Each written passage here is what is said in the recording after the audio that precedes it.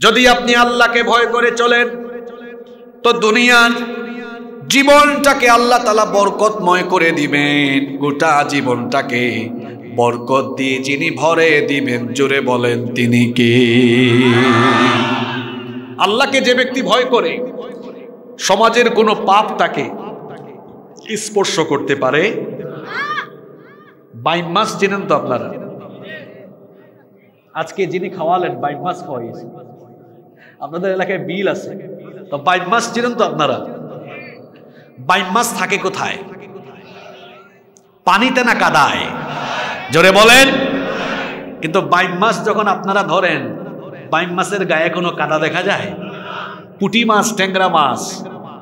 বাইম মাছের মতো কি এত কাদার এত কাদার ভিতরে থাকে? পুটি মাছ, ট্যাংরা মাছ পানিতেই থাকে, অথবা ঘুলা পানিতে থাকে। মাছ ধরার পাত্রকে আপনাদের এলাকায় আপনারা কি বলেন? খলই। খলই না? আচ্ছা যখন পুটি মাছ, ট্যাংরা মাছকে খলইয়া রাখবেন, দেখবেন ঘুলা পানিতে থাকা কিছু ময়লা তার গায়ে আছে না নাই? আর বাইম মাছ ঘুলা পানিতে না, একদম কাদার ভিতরে টেনে যখন বের করে খলইয়া রাখবেন, কোনো কাদা আছে? আপনি জীবন যাপন করবেন এত পরিচ্ছন্ন জীবন বাইম মাছের মতো। পুটি মাছ, ট্যাংরা মাছের মতো হইয়েন না। অর্থাৎ বাইম মাছ কাদায় থেকেও নিজে পরিষ্কার থাকে। টেনে বের করলে খলইয়ে রাখলে তারে পরিষ্কার দেখা যায়। আপনি যে সমাজে বাস করেন, পরিষ্কার পানির মতো এই সমাজ নয়।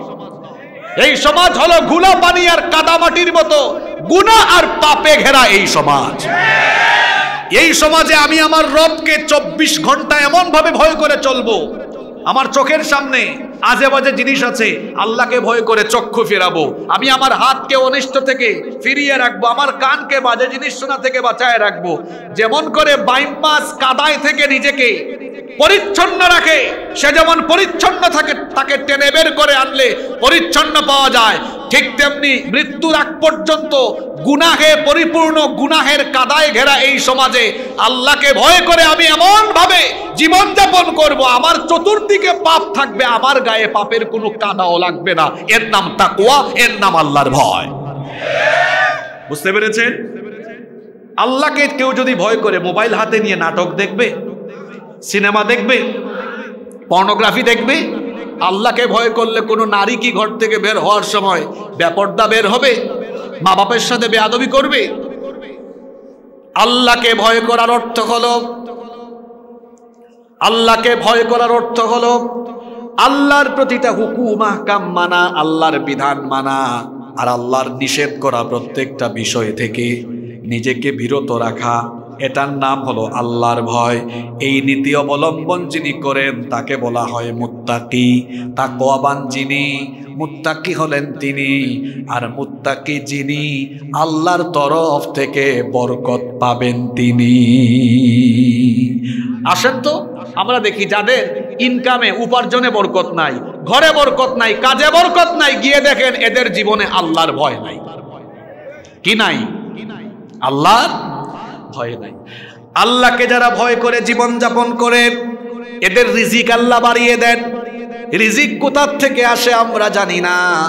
রিজিকের ফয়সালাকারী যিনি, গলার আওয়াজ বড় করে সবাই বলেন তিনি কি? রিজিকের বিষয়টা হলো এমন গত বছর আমি জানতাম না, আজকে গুমস্তাপুরের আক্কেলপুরে রাতের খাবার আমি খাব। আমি জানতাম না, কিন্তু এটা যিনি ফিক্সড করে রেখেছেন, জোরে বলেন তিনি কি? হয়তো আপনার স্ত্রী আগামীকাল সকালের নাস্তা রেডি করবে। সকালের খাবার বানাবে, কিন্তু সকালের খাবার বাড়িতে না খেয়ে অন্য কোথাও খাওয়া লাগতে পারে। কোথার থেকে কখন রিজিক আসে আমরা জানি না, কারণ রিজিকের মালিক আমরা নয় রিজিকের মালিক কি? অফুরন্ত রিজিক পাবেন।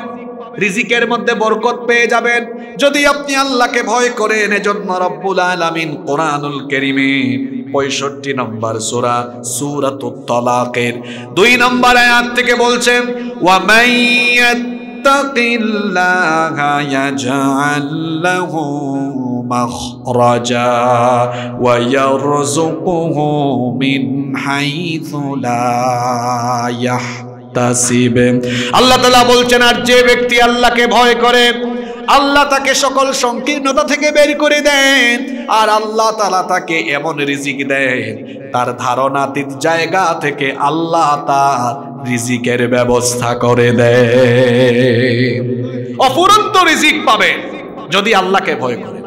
আর আল্লাহকে ভয় করে যদি সমাজ এবং রাষ্ট্র সেই ভিত্তিতে পরিচালিত হয়, অর্থাৎ যারা আল্লাহকে ভয় করে তারা যদি সমাজ রাষ্ট্র পরিচালনা করে ওই সমাজ এবং ওই রাষ্ট্রকে বরকত দিয়ে তিনি ভরে দেন, গলার আওয়াজ বড় করে সবাই বলেন, তিনি কি?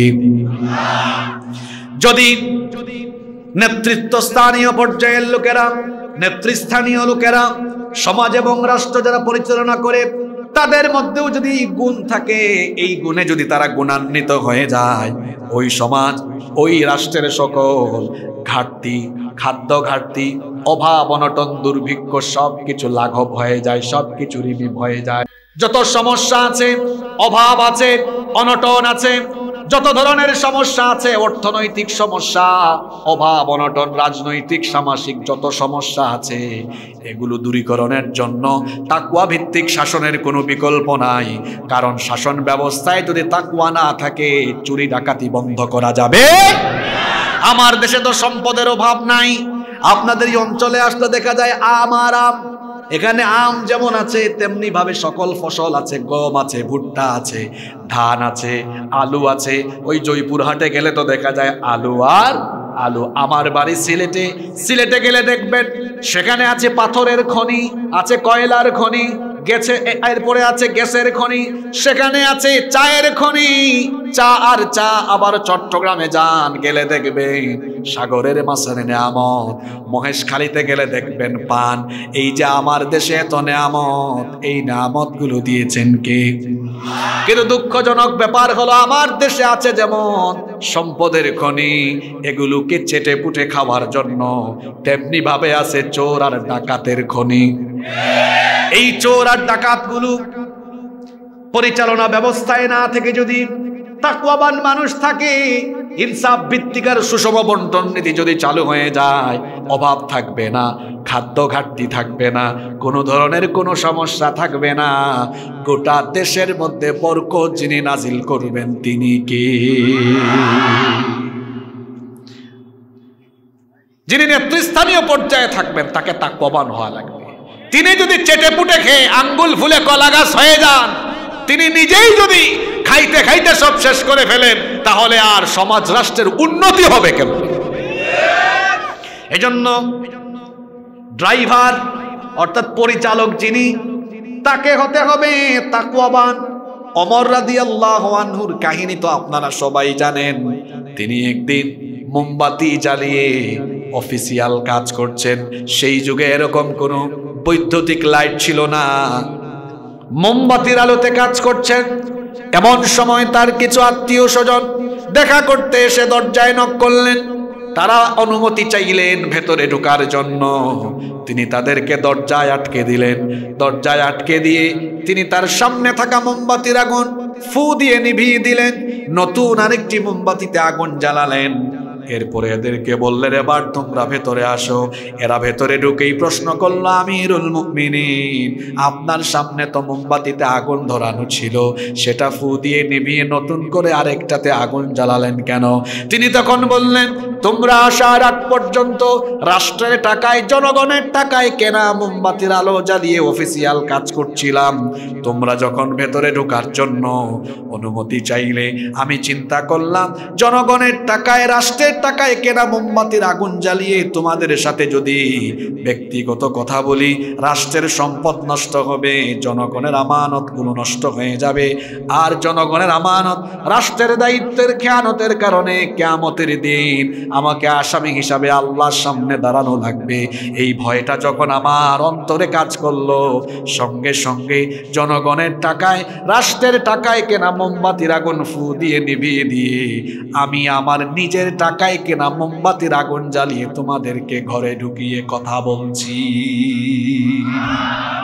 এটার নাম হলো তাকুয়া এটার নাম কি?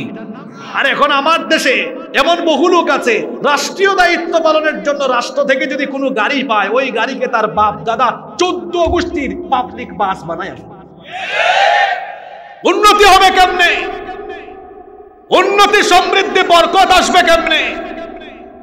যদি পরিচালকরা, যারা পরিচালনা করবে, এদের মধ্যে যদি চোর ডাকাত, দুর্নীতিবাজ, লুটপাটকারী লোক থাকে, তাহলে বরকত আসবে না। বরকত পেতে হলে ওই জায়গায় আল্লাহওয়ালা মানুষগুলোকে পাঠাতে হবে। তাহলে এক নাম্বার, আপনার ব্যক্তি জীবন, পরিবার, সমাজ, রাষ্ট্রে বরকত পেতে হলে কাকে ভয় করা লাগবে? জোরে বলতে হবে। কষ্ট হচ্ছে আপনাদের? সামনের পয়েন্ট আরও সুন্দর। মনোযোগ থাকবে তো? দুই নম্বর, জীবনে বরকত পাবে তারা। যে কোনো কথা, কাজ বা যে কোনো কিছুর শুরুতে বিসমিল্লা পরে যারা আল্লাহর নামে শুরু করতে হয়, জোরে বলেন কার নামে? আসতে বলবেন না, জোরে বলেন কার নামে? আমাদের যে কোনো কিছু শুরু করি আমরা কার নামে? মুসলিম শরীফের হাদিস عن جابر بن عبد الله رضي الله عنهما أنه سمع النبي صلى الله عليه وسلم يقول জাবের বিন আব্দুল্লাহ রাদিয়াল্লাহু আনহুমা থেকে এই হাদিস বর্ণিত হয়েছে তিনি বলছেন নবী করিম সাল্লাল্লাহু আলাইহি ওয়াসাল্লামকে আমি বলতে শুনেছি তিনি বলেছেন ইদা দাখালার রাজুলু বাইতাহু ফাযাকারাল্লাহু ইনদা দুখুলিহি ওয়া ইনদা তাআমিহি যখন কোনো ব্যক্তি ঘরে ঢুকার সময় কিংবা খাবার খাওয়ার সময় আল্লাহর নাম স্মরণ করে, অর্থাৎ যখন সে বিসমিল্লাহ বলে কালা শৈতান, শয়তান তখন বলে আশা। যেহেতু এই ব্যক্তি বিসমিল্লাহ বলে ঘরে ঢুকেছে, খাবার খাওয়ার সময়ও বিসমিল্লাহ বলেছে। শয়তান তার সাথীদেরকে বলে, এই ঘরে তোমাদের থাকার কোনো জায়গা নাই, এই ঘরে কোনো খাবারেরও তোমাদের কোনো সুযোগ নাই। কারণ ঘরে ঢোকার সময় বিসমিল্লা বললে ওই ঘরে শয়তান থাকতে পারে। খাবার খাওয়ার সময় বিসমিল্লা বললে, ওই খাবারের মধ্যে শয়তান কোনো ভাগ বসাতে পারে? আবার ফালাম ইয়াযকুরিল্লাহ ইনদা দুখুলিহি, কোন ব্যক্তি যখন ঘরে ঢোকার সময় বিসমিল্লাহ বলে না শাইতান শয়তান তখন বলে মাবিত। ও আমার সাথীরা, শোনো, তোমরা তোমাদের থাকার জন্য জায়গা পেয়ে গেলে। এই লোক বিসমিল্লাহ বলে নাই, এই ঘরটা তোমাদের থাকার জায়গা। ওয়া ইদা লাম ইনদা তাআমিহি। আর যখন বান্দা খাবার গ্রহণের সময়ও বিসমিল্লাহ বলে না, আল্লাহর নাম বলে না, তখন শয়তান তার সাথীদেরকে বলে, আদরাকতুমুল আশা। থাকার জায়গা যেমন হয়েছে, খাবারে ভাগ বসানোর সুযোগও তোমাদের হয়েছে। আমাদের দুশ্মন হলো শয়তান, এই শয়তানকে ঘরে থাকার কিংবা খাবারে ভাগ বসানোর সুযোগ কি আমরা দিব নাকি? তাহলে বলেন তো, খাবারের শুরুতে বা ঘরে ঢোকার সময় বলতে হবে? আরও জুড়ে বলেন। খাবারের শুরুতে বিসমিল্লা বলেন তো? সবাই বলেন তো? খাবারের শুরুতে বিসমিল্লা বলবেন। আল্লাহ নবী বলেছেন, খাবারে যদি বরকত চাও, তাহলে ঘরের সবাই মিলেমিশে একসাথে খাবার খাও। অনেকে দেখা যায় আলাদা আলাদা খায়, অনেকের বাড়িতে আছে খাবার, দুপুরের খাবার। দুপুর দুইটায় আরম্ভ হয়, খাবার শেষ হতে হতে চারটা বাজে। অর্থাৎ এক এক টাইমে এক একজন খায়। ওই ঘরে যেমন কাজে বরকত থাকে না, ওই ঘরের মানুষের মধ্যেও ভালো কোনো সম্পর্ক থাকে? যদি আপনি ঘরের সকলের মধ্যে পারস্পরিক মহব্বত বাড়াতে চান, আর যদি ঘরের মধ্যে বরকত বাড়াতে চান, সবাই একসাথে বসে একই টাইমে খাবার খাবেন। স্বামী, স্ত্রী একসাথে খাবার খান, একজন আরেকজনের মুখে তুলে খাবার খাওয়ায়া দেন। দেখবেন দুজনের মধ্যে ভালোবাসার সম্পর্ক যিনি বাড়ায়া দিবেন তিনি কি? বিবাহিত ভাইয়েরা, মাঝে মাঝে ঘরের সবাইকে নিয়ে তো খান, আব্বা, আম্মার সামনে তো আর খাওয়াই দিতে পারছেন না। মাঝে মাঝে একটু ভাবিকে খাওয়ায়া দিয়ে সম্পর্ক বাড়বে না, কমবে। বিবাহ, অবিবাহিত মিসকিনরা মনে মনে বলতেছে, হুজুর, কখন যে আমরা এই সুযোগটা পাবো? তোমরা পাবা এই সুযোগ। চরিত্র ঠিক রাখো, নিজেকে নিয়ন্ত্রণ করো। আল্লাহ তোমাকেও এরকম সুন্দর জীবন দান করে দিবেন ইনশা একসাথে বসে খাবার খাবেন, তাহলে খাবারে বরকত হবে। খাবারে বরকত হবে, কারণ খাবারের মধ্যে বরকত নাজিল করেন কে? আবার খাবার খাওয়ার সময় এখন তো মানুষ এত স্টাইলিশ হয়েছে ফ্যাশনেবল হয়েছে। দেখবেন অনেক মানুষ এত ফুটানি দেখায়। বিভিন্ন চাইনিজ রেস্টুরেন্টে যাওয়ার পরে খাবারের প্লেটের সাথে দেখবেন দুইটা, তিনটা চামচ, দুইটা, তিনটা চাকু থাকে। কথা বলেন না কেন? কি স্টাইল করে চাকু দিয়ে কেটে কেটে চামচ দিয়ে তারপরে খায়? চামচ দিয়ে দিয়ে যারা খাবার খায়, এদের বেশি বেশি রোগ হয়। এটা আবেগী কথা নয় তো। আজকের বিজ্ঞান, চিকিৎসা বিজ্ঞান তা বলছে। আসলে আপনাকে বুঝাই দিই, তবে বিজ্ঞানের কথা বলার আগে আল্লাহ নবীর হাদিস বলি। আল্লাহ নবী বলেছেন আল্লাহ নবী আমাদেরকে উদ্দেশ্য করে কি বলেছেন শোনেন? মুসলিম শরীফের হাদিস, আন জাবির ইবনে আব্দুল্লাহ রাদিয়াল্লাহু আনহুমা আন্না রাসূলুল্লাহি, সকলে আমার সাথে পড়েন সাল্লাল্লাহু আলাইহি ওয়াসাল্লাম। আমর বিলাকিল আসাবি'i ওয়াস সাহাফা জাবির বিন আব্দুল্লাহ রাদিয়াল্লাহু আনহুমা হাদিসের বর্ণনাকারী সাহাবী, তিনি বলছেন, আল্লাহর রাসূল আদেশ করেছেন তোমরা খাবার খাওয়ার সময় আঙ্গুল চেটে পুটে খাও। এবং প্লেটটাও চেটে পুটে খাও। কারণ ইন্না কুমলা তাদরুনা ফি আইয়িহিল বারাকা। তোমরা তো জানো না, খাবারের কোন অংশে রয়েছে বারাকা। আঙ্গুল চেটে খাওয়া আর প্লেট চেটে চেটে খাওয়ার মধ্যে বরকত আছে। বলেছেন মোহাম্মদ ওয়াসাল্লাম। আজকের বিজ্ঞানও সেটা প্রমাণ। এই যে যারা চামচ দিয়ে কেটে কেটে খান স্টাইলিশ হয়ে। আমি যত জায়গায় খাবার খাওয়ার সুযোগ পেয়েছি, অনেক সেভেন স্টার হোটেলে দেশে বিদেশে খাওয়ার সুযোগ পেয়েছি, একদম গিয়ে হাত দিয়া খাওয়ার সুযোগ। আশেপাশে মানুষ তাকায়, আরে বাপ রে বাপ, কি ব্যাকডেটের হুজুর, খ্যাত কুত থেকে আসছে দেখছ, হাত দিয়া খাওয়া আরম্ভ। আসলে ব্যাকডেটেড আমরা নই, ব্যাকডেটেড হলো তারা যারা আমাদেরকে ব্যাকডেটেড বানিয়ে নিজেরা চামচ দিয়ে স্টাইল করে কেটে কেটে ক্রিং ক্রিং আওয়াজ করে খায় ওরা তো বুঝে না, ওরা বিজ্ঞানের দোহাই দেয় আজকের চিকিৎসা বিজ্ঞান বলছে, এই যে আমাদের হাতে, না চাইতে দেখেন এক এক হাতে চামচ আছে কয়টা? জোরে বলেন। দেখেন কত কষ্ট, চামচ দিয়ে খাওয়ার সময় একটা ধইরা আরেকটারে কি করতে হয়? কাটাকাটি, এত কষ্ট করার দরকার আছে। হাত দিয়ে দেখেন, হাতকে সুজাও করা যায়, বাঁকাও করা যায় মুচড়ানো যায়। আপনি গুস্তকে দুই আঙ্গুল দিয়ে ছিঁড়ে ফেলতে পারবেন, মাছকেও ছিঁড়ে ফেলতে পারবেন। চামচ দিয়ে এত সুন্দর করে খাইতে পারবেন না আপনি। এরপরে যখন আমরা খাবার খাচ্ছি, চিকিৎসা বিজ্ঞানীগণ বলছেন, আমাদের এই যে হাতের মধ্যে এক ধরনের পদার্থ আছে, যখন আমরা এই হাত দিয়ে মাখায়া মাখায়া বা হাত দিয়ে খাবার খাই, আঙ্গুল থেকে এই পদার্থগুলো খাবারের সাথে মিশে এবং জিব্বার সাথে লেগে ভেতরে চলে যায় এবং ওই পদার্থগুলো খাবার হজমে সহায়তা করে। সুবহানাল্লাহ! এই জন্য যারা হাত দিয়ে খাবার খায় এদের হজম শক্তি ভালো এবং এদের পরিপাকতন্ত্রের সমস্যাও অনেক কম থাকে। এই চামচ দিয়ে কাইটা কাইটা যারা খায়, দেখবেন বেশিরভাগই শেষ বয়সে লিভারের সমস্যা, ফুসফুসের সমস্যা, এইটা সমস্যা, ওইটা সমস্যা। সমস্যার এজন্য কোনো তরকারিতে আঙ্গুল দিতে নিষেধ করা হয়েছে। কারণ কোনো তরকারিতে আঙ্গুল ডুবায় দিলে ওই তরকারিটা তাড়াতাড়ি কি হয়? নষ্ট হয়ে যায়। কারণ আঙ্গুলের মধ্যে এক ধরনের পদার্থ আছে, ওটা তখন বের হয়ে যায়। তাহলে আঙ্গুল চেটে চেটে খাবেন প্লেট চেটে চেটে খাবেন অনেকে আছে প্লেট চেটে খাইলে অনেক মানুষ আছে বলে, দেখছ কি রাক্ষস একদম চাইটা চুটা খাইয়ে ফেলতেছে। এটা রাক্ষস না।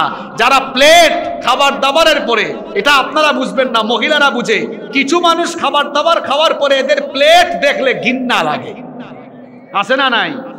আর কিছু মানুষ এমন ভাবে খাবার খায়, খাবার খেয়ে উঠার পরে তার এই প্লেট দেখলে মনে হয় সুভান আল্লাহ যেমন পরিষ্কার প্লেট দিয়েছি, এখন পরিষ্কারও রয়ে গেছে। চেটে চেটে খাবেন এখন। চেটে চেটে খাবার খাবেন প্লেট চেটে খাবেন, আঙ্গুল চেটে খাবেন। নবীজি বলেছেন, এই রকম খাবারের মধ্যে আল্লাহর তরফ থেকে বরকত আসে। সুবাহ আল্লাহ পড়েন। তাহলে খাবারে বরকত চান? বিসমিল্লা তো বলে শুরু করবেনই, আবার চেটে পুটেও খাবেন। আবার কথায় কাজে বরকত চান। শুরুতে কি?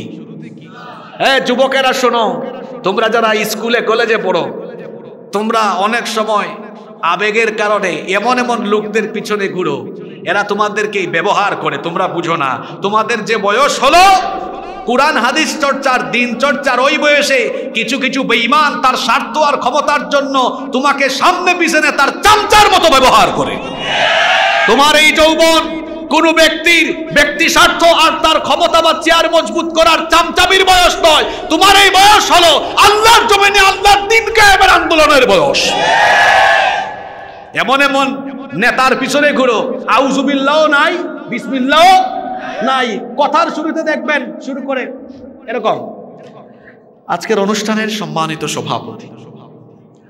কিছু আছে? সালামো? সালামো? নাই। বিসমিল্লাহ? নাই, আবার কেউ কেউ বিসমিল্লাহ বলতে গেলে যেহেতু চর্চা নাই, মাঝখান থেকে শব্দ হারায় ফেলে। কই বিসমিল্লাহের রাহিম? এ, যুবকরা বুঝছ তো? বিসমিল্লাহ? যেটা বলেছি আছে তো এরকম।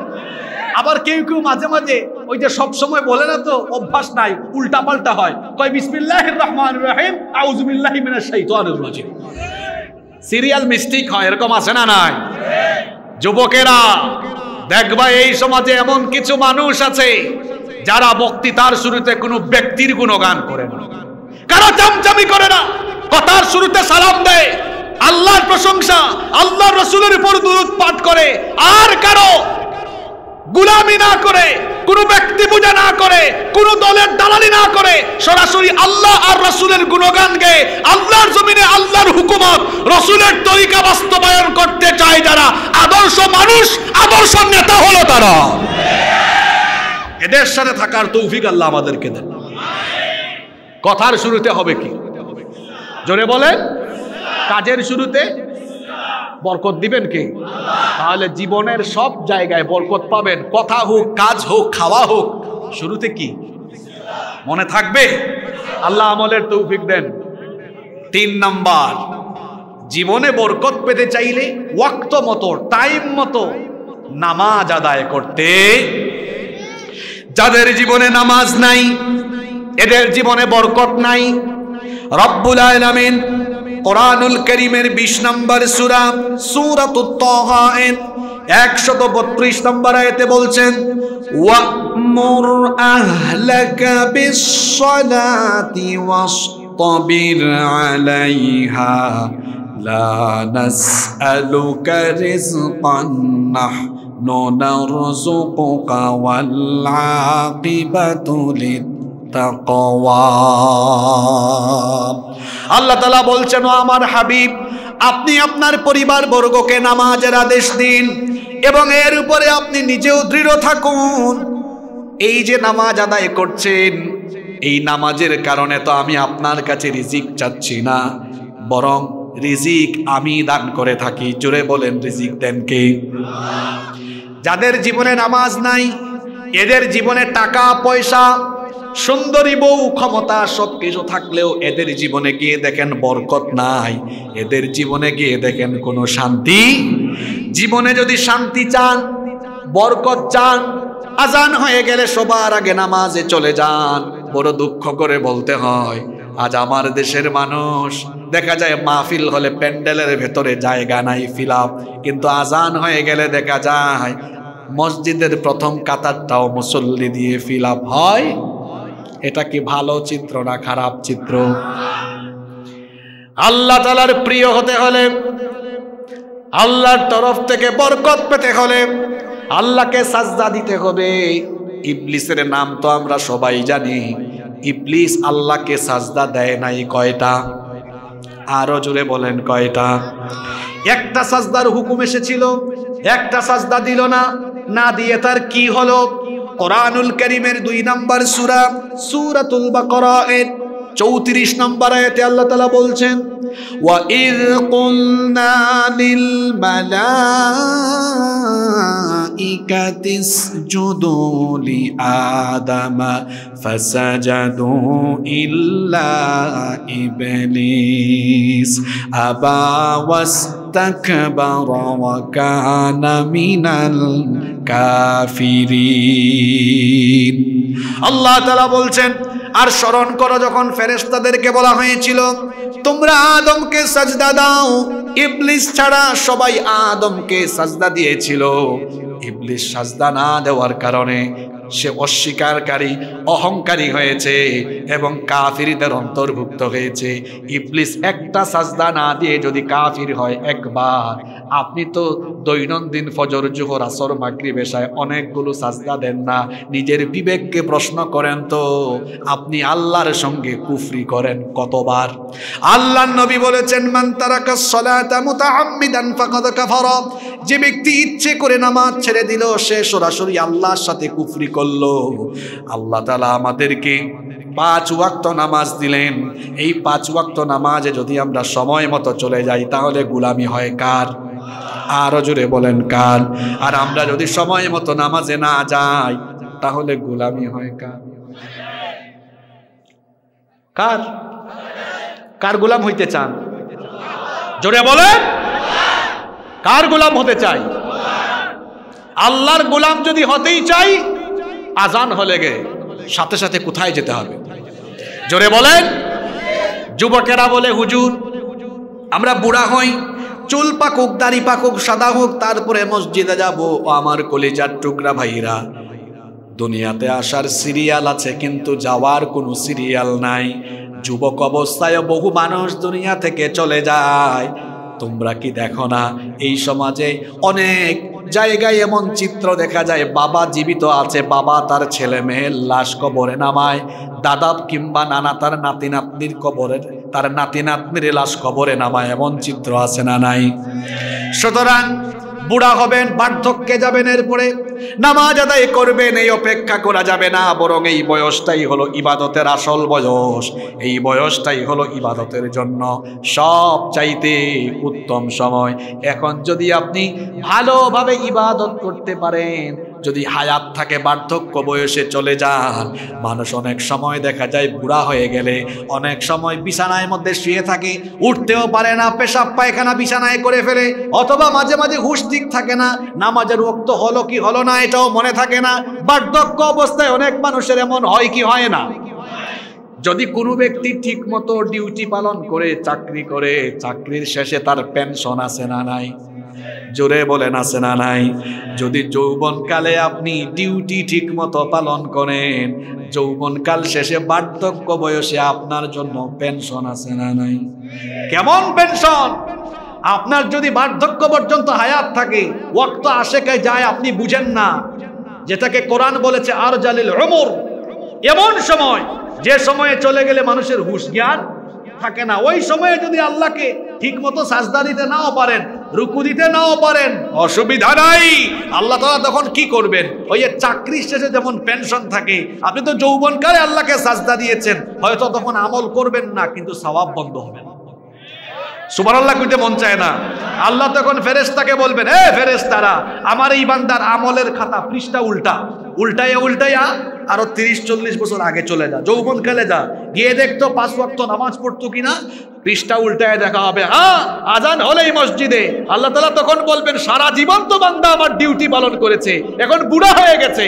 তার হাড্ডি এবং তার মেরুদণ্ডে ব্যথা, উঠতে পারে না, দাঁড়াতে পারে না, ওয়াক্ত মনে থাকে না, কত সমস্যা তার। সে তো আগে আমার ডিউটি পালন করেছে, আগে আমল করেছে, সওয়াব দিয়েছ। এখন তার বার্ধক্যের কারণে আমল করতে পারছে না, সওয়াব বন্ধ হবে না। সে যৌবনকালে যেমন তাকে পূর্ণাঙ্গ সওয়াব দিয়েছ বুড়া কালেও তারে ওয়াক্ত মতন আমাদের সময় হলে সওয়াব দাও। ডিউটি পালন করলে পেনশন পাওয়া যায়। ডিউটি নাই, পেনশন কি? বেতনও নাই। তাহলে এই যৌবনকাল, এটা ইবাদতের সময় নাকি এই সময় তামাশার সময়? জোরে বলতে হবে। এজন্য যুবক ভাইদেরকে বলছি, জীবনে বরকত পেতে হলে ওয়াক্ত মতো কি আদায় করতে হবে?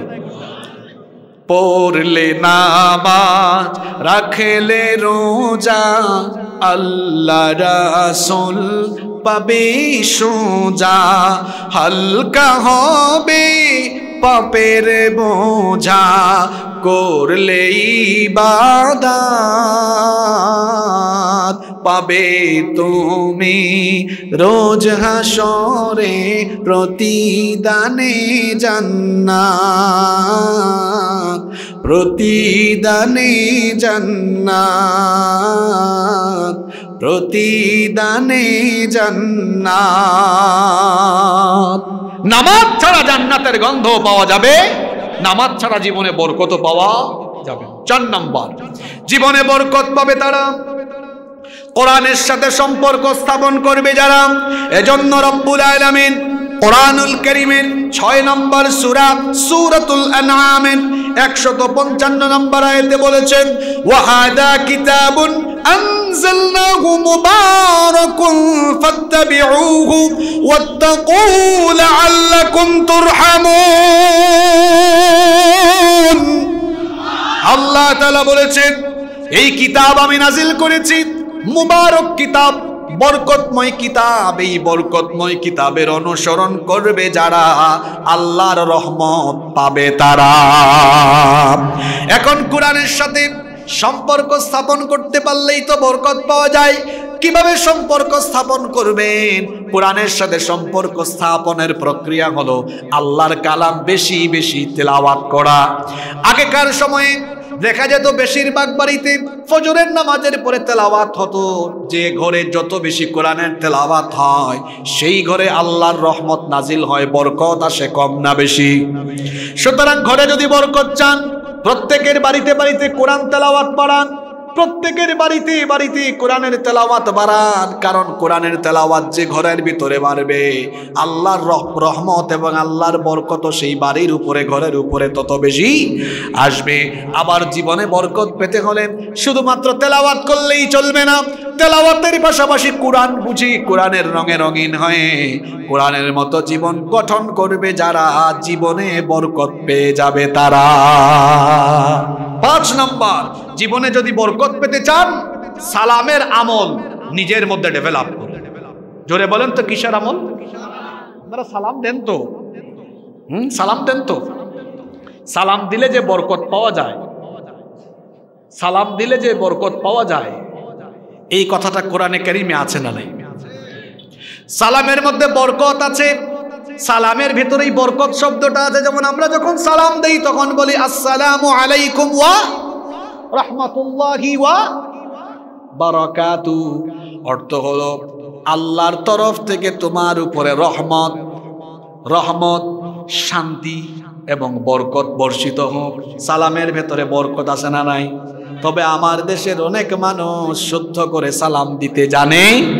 আর যারা রাজনীতি করে, বেশিরভাগ লোক শুদ্ধ করে সালাম দিতে পারে না। এরা সালাম দেয় সালাম আলাইকুম। সালাম আলাইকুম কি, এরকম আছে না নাই? সালাম দেয়। সালাম দিয়ে, সালাম মানে তো শান্তি। শান্তি বর্ষিত না করে মানুষকে মাইরা ফেলে উল্টা। সালাম আরবি শব্দ, এটার অর্থ হলো শান্তি। সাম আরবি শব্দ, এটার অর্থ হলো মৃত্যু। কেউ যদি আসসালামু আলাইকুম না বলে বলে সাম আলাইকুম তখন অর্থ হবে তোরা মরি যা। তোরা মরি যা। মানুষকে কি মারার দোয়া করা যাবে? আপনারা সবাই শুদ্ধ করে আমাকে একটা সালাম দেন তো।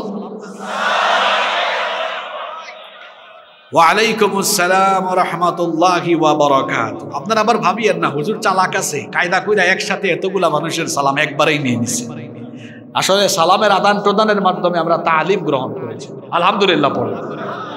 জীবনে বরকত পেতে হলে সালামের অভ্যাস নিজের মধ্যে আনুন ঘরে যখন ঢুকবেন, সালাম দিয়ে ঢুকবেন, কোরআনে করিমের চব্বিশ নম্বর সুরা সুরা নূরের একষট্টি নম্বর আয়াতের শেষাংশে আল্লাহ বললেন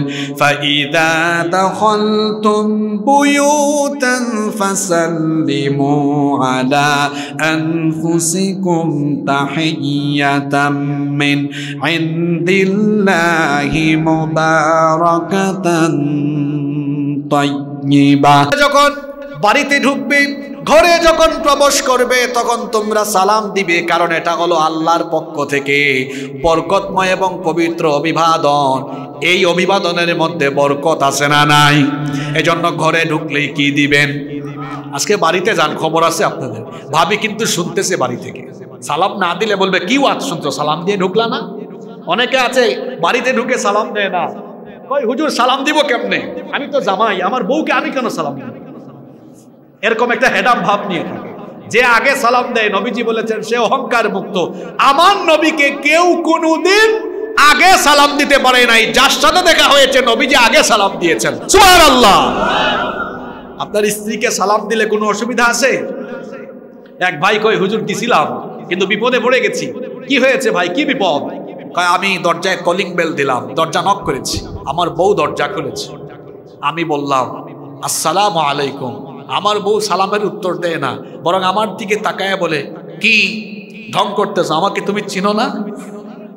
মানুষ মনে করছে যে সালাম শুধুমাত্র পরিচিত মানুষকে, সালাম শুধুমাত্র অপরিচিত বা গণ্যমান্য কাউকে দেওয়া যায়।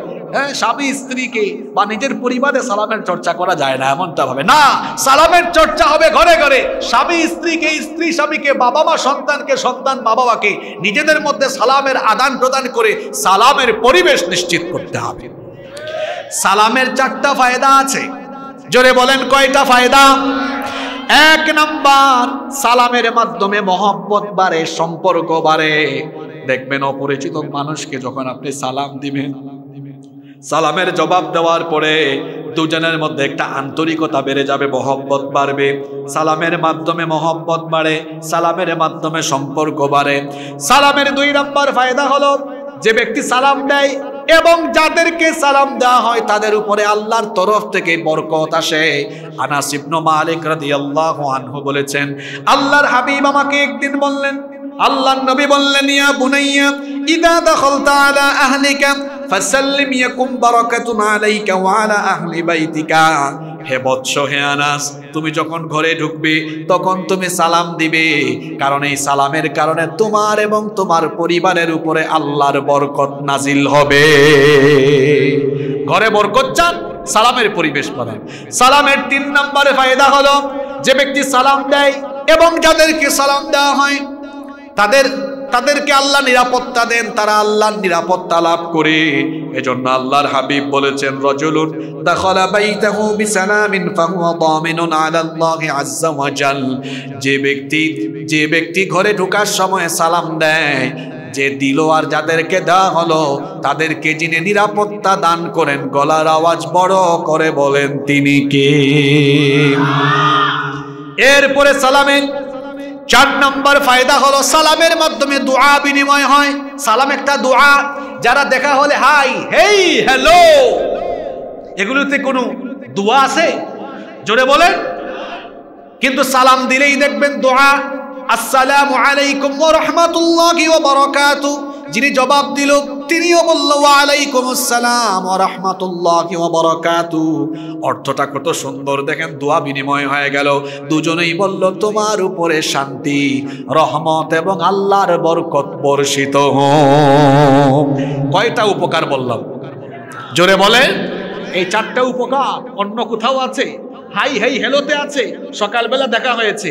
মনে করেন কোন মানুষের বাপ মা মারা গিয়েছে, দেখা হয়েছে। বলেন, হাই জুতা খুলে পিটাবে। কারও বউ মারা গেছে, দেখা হয়েছে, বলবে, ভাই গুড মর্নিং বলবে, আমার কাছে আয়, তোর এটা থাপ্পল লাগাই।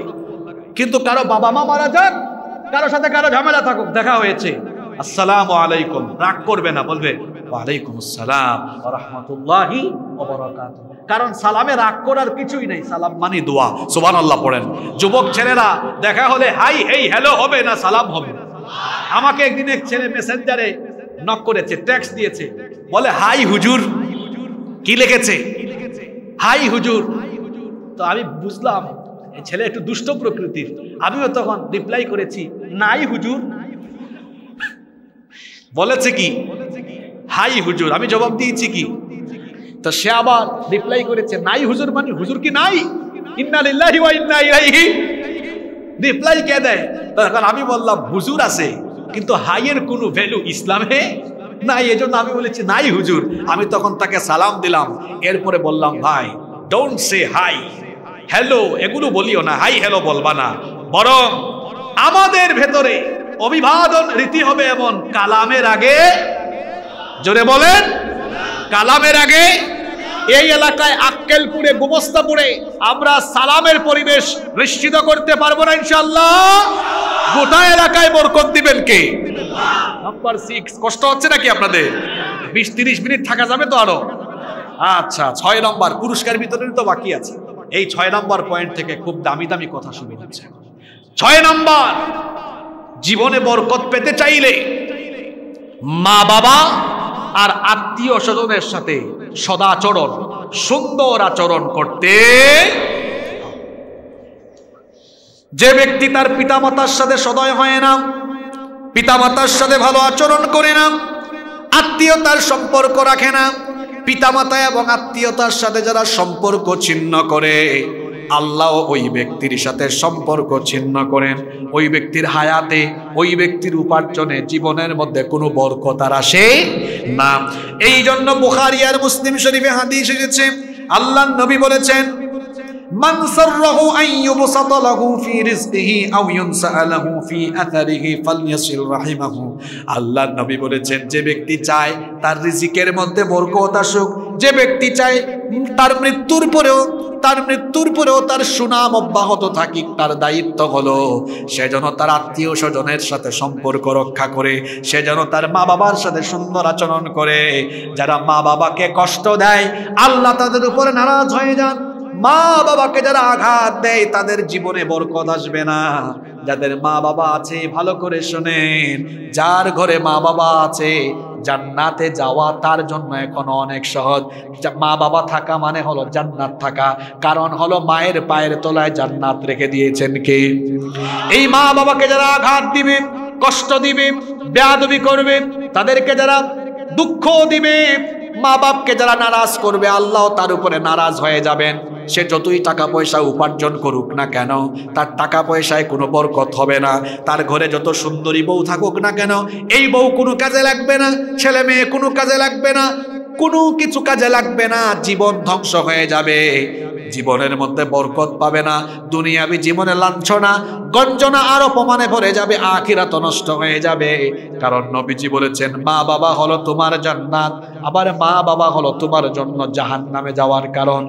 মা বাপকে যদি সন্তুষ্ট করতে পারেন, তাহলে আপনার উপর যিনি সন্তুষ্ট হয়ে যাবেন, গলার আওয়াজ বড় করে সবাই বলেন, তিনি কে?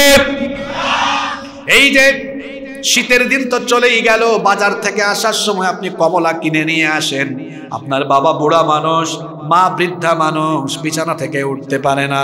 আপনি ঘরে যান, গিয়ে আপনি কমলাটা নিজের হাতে ছিলে কমলা মুখে তুলে খাওয়াই দেন। দেখবেন মা বাপ খুশি হয়ে যাবে। মা বাপ যদি খুশি হয়ে একটা হাসি দেয়, মুচকি হাসি দেয়, আল্লাহর আরস আপনার উপর খুশি হয়ে যাবে। বিয়ে করার পরে অনেকে মা বাপকে পাত্তা দেয় না। মা বাবাকে খেদমত করে না মা বাপকে সময় দেয় না। আহারে নিমুখ খারাপ সন্তান ভুলে গিয়েছে। আপনি যখন ছোট্ট ছিলেন, তখন আপনাকে ঘুম পাড়িয়েছে মা বাবা এখন আপনার মা বাবার কত সমস্যা? মাথা ব্যথা মেরুদণ্ডে ব্যথা, হাতে ব্যথা, পায়ে ব্যথা, নানাবিধ শারীরিক সমস্যা। আপনার মা বাবা যেমন আপনাকে ঘুম পাড়ায়া ছোটবেলা তারা ঘুমাতো। আপনিও তেমন। এই বৃদ্ধ বয়সে মা বাপকে ঘুম পাড়িয়ে ঘুমাতে যান। আপনার আব্বুর রুমে যান। গিয়ে বলেন, বাবা, আমি তোমার মাথায় একটু হাত বুলাই দেই। তোমার পায়ে ব্যথা, পাটা টিপে দেই। মাকে বলেন, মা, আমি তোমার মাথায় হাত বোলায় দেই, ঘুমায়া যাও। দেখবেন মা বাপ বলবে, বাবারে, তুই চলে যা, আমি ঘুমায় যাব, অসুবিধা নাই। আপনি যাবেন না। মা বাপকে ঘুম পাড়াইয়া তারপরে যান। মনে করবেন, ছোটবেলার কথা। আপনাকেও ছোটবেলায় ঘুম পাড়িয়েছে এই মা বাবা। এভাবে মা বাপকে ঘুম পাড়ান। আর মা বাবার যদি অসুস্থ হয়, তাহলে তার চিকিৎসার দায়িত্ব নেন। ছোটবেলা যখন আপনি অসুস্থ ছিলেন, আপনার মা বাবা আপনার জন্য পাগল পড়া হয়ে যেত। চাপাইন বাবগণ রাজশাহীতে হাসপাতালে নিয়ে দৌড়াতো। মা বাবা অসুস্থ, আজকে খোঁজখবর নেন না।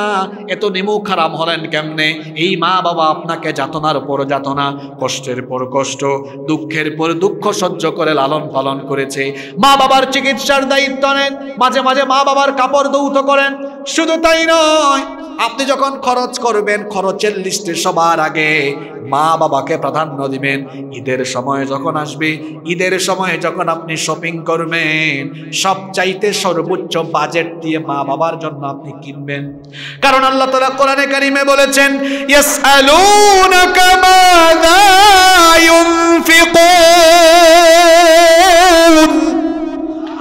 অনবীরা আপনাকে প্রশ্ন করেন তারা কোথায় কীভাবে ব্যয় করবে? আপনি তাদেরকে বলুন, ব্যয়ের লিস্টে খরচের লিস্টে সবার আগে তারা তারা প্রায়োরিটি দিবে, প্রাধান্য দিবে। ফালিল ওয়ালিদাইন। তাদের মাকে, তাদের বাবাকে সবার আগে প্রাধান্য দিবে। বউয়ের জন্য, ছেলে মেয়ের জন্য, ভাই বোনের জন্য যে বাজেটের কাপের কিনবেন, মা বাবার জন্য তার চাইতে আরও বাড়িয়ে কিনবেন। কথা কি বোঝা যায়? আমার নিজের একটা আমল, যুবকদেরকে উৎসাহিত করবার জন্য বল। আমার বাবা বেঁচে নেই, আমার মা আছেন। কিন্তু প্রতি বছর ঈদে, যখন ঈদের সময় আসে, আমি আমার পরিবারের সকলের চাইতে আমার মায়ের কেনাকাটার সময় সর্বোচ্চ বাজেট ধরে তারপরে তার জন্য কেনাকাটা করি। কারণ গোটা পৃথিবী একদিকে আর মা বাবা হলো আরেক দিকে। জান্নাত তালাশের জন্য এদিকে ওদিকে ছোটাছুটির দরকার নাই। আপনার মায়ের পায়ের তলে আল্লাহ জান্নাত রেখে দিয়েছেন। যুবকদেরকে বলছি, জান্নাত হাসিল করতে হলে মা বাবার পায়ের তলায় পড়ে থাকো, মা বাবার খেদমত করো, মা বাপকে খুশি করো, আল্লাহ জান্নাত তোমার পায়ের তলায় ফেলাই দিবে। কাকে খুশি করতে হবে? জোরে বলেন। জীবনে বরকত দিবেন কে? আত্মীয়তার সম্পর্ক রক্ষা করতে হবে। অনেকে আছে আত্মীয়তার সম্পর্ক রক্ষা করে না। আত্মীয় স্বজনের খোঁজ নেন এটা করা যাবে না। আত্মীয়তার সম্পর্ক ছিন্নকারীদের সাথে আল্লাহ সম্পর্ক ছিন্ন করে। সাত নাম্বার হলো, জীবনে যদি বরকত চান, সকালবেলা কাজ আরম্ভ করে অনেকে আছে, আপনাদের এলাকায় যাই হোক, এই অভ্যাসটা মনে হয় বেশি, সকাল সকাল ঘুম থেকে ওঠা। কিন্তু যারা শহরে থাকে, এদের সকাল হয় কয়টায় জানেন? দশটায় ভুল বলেছেন ভাই, এগারোটা, বারোটা তো দিনের যদি ছয় সাত ঘণ্টা চলে যায় এর কাজে কোনো বরকত পাবে? আল্লাহ নবী দেড় হাজার বছর আগে দোয়া করেছেন আপনাদের জন্য। আল্লাহ হে আল্লাহ, আমার উম্মতের মধ্যে যারা সকালবেলা উঠে কাজ আরম্ভ করে, এদের কাজে তুমি বরকত দিও। সুপার আল্লাহ কইতে মন চায় না? কোন হুজুর দোয়া করেন নাই, দোয়া করেছেন বড় হুজুর, মোহাম্মদুর রসুল্লাহ সাল্লাহ আল্লাহ নবী যখন কোনো বাহিনী কোথাও পাঠাতেন, তার প্রতিনিধি কোথাও পাঠাতেন, সকাল সকাল পাঠাতেন। বরকত হওয়ার জন্য। আপনি যদি দশটা এগারোটায় ঘুমের থেকে উঠেন দিনের অর্ধেক সময় তো শেষ হয়ে গেল। সকাল সকাল কাজ আরম্ভ করেন যারা চাকরি করেন, ব্যবসা করেন, যারা দিনের বেশিরভাগ সময় বাহিরে থাকতে হয়, আপনার স্ত্রী, সন্তান মা বাপকে সময় দিতে পারেন না, ফজরের নামাজের পরে ঘুমায় যাইয়েন না। এই সময়টা দুই তিন ঘণ্টা স্ত্রীকে সময় দেন, সন্তানকে সময় দেন মা বাবার সাথে একটু গল্প করেন। দেখবেন তারাও খুশি, পরিবার খুশি থাকলে আপনার দেখবেন কাজ কর্মেও অন্যরকম একটা ভালো লাগা কাজ করবে। তাহলে বরকত পেতে হলে কাজ আরম্ভ করতে হবে দেরিতে না সকাল সকাল। জোরে বলেন, সকাল সকাল। আর যারা দেরি করে ঘুম থেকে উঠে, এদের স্বাস্থ্যগত বরকত নাই। এদের দেখবেন নানান সমস্যা, এদের গ্যাস্ট্রিক আছে। এই চাপাই নবাবগঞ্জে যারা সকালবেলা ঘুম থেকে উঠে, কারও কোনো গ্যাস্ট্রিক নেই।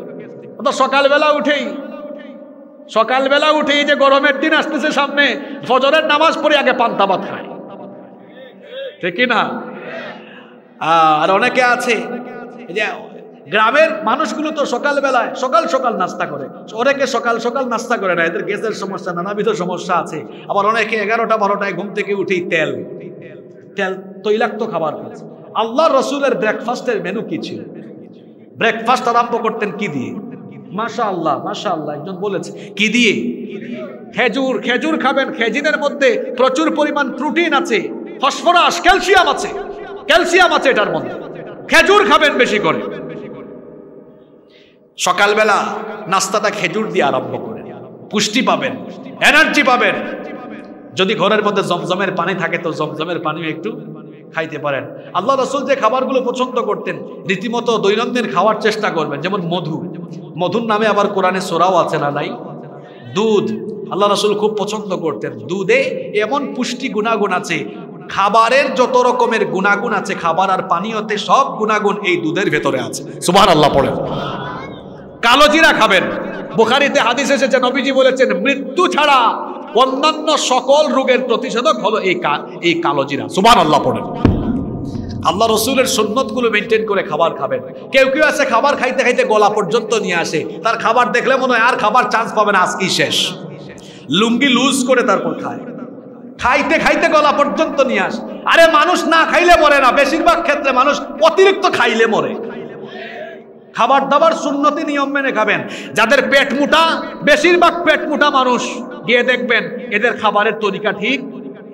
কোন নবীর বুকের চাইতে পেট উঠা ছিল না। নবীর সুন্নত মেনটেন করে খাবার দাবার করেন, নবীর সুন্নত মেনে চলেন, পেট বাড়বে না। পেট আপনার বাড়বে না।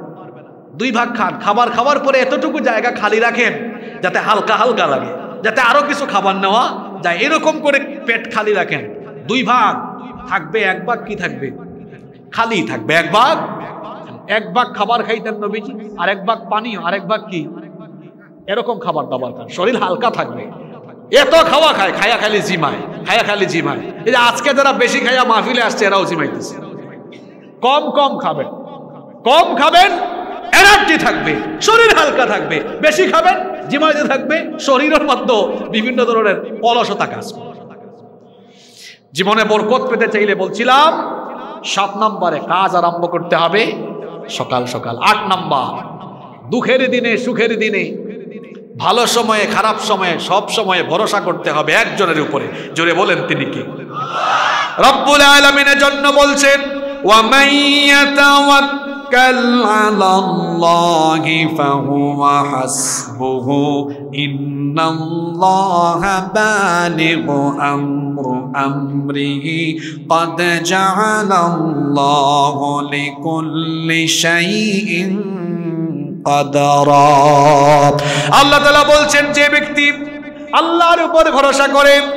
আল্লাহ তার জন্য যথেষ্ট।